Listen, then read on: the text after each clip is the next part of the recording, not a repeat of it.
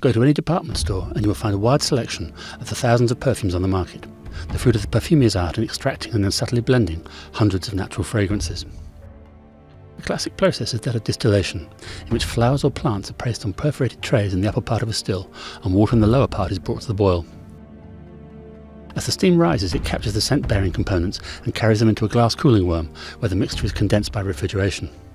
The water and essential oils are collected in Florentine flasks, where they separate due to their different densities, and the lighter oils are scooped from the surface. Another technique is hot absorption or maceration, steeping flowers or plants in previously heated animal fats or oils, the mixture then filtered through fabric to obtain scented unguents.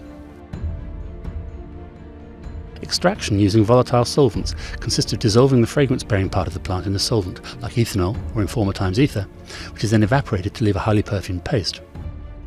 More recently, chemical processes have helped assure a consistent quality of perfume products, isolating the components of an essence and reproducing them, most often through petrol byproducts.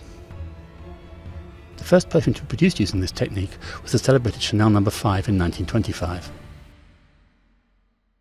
These days, gas chromatography is used to identify the molecules and the quantities of each molecule that compose an odour, and allows the composition to be duplicated.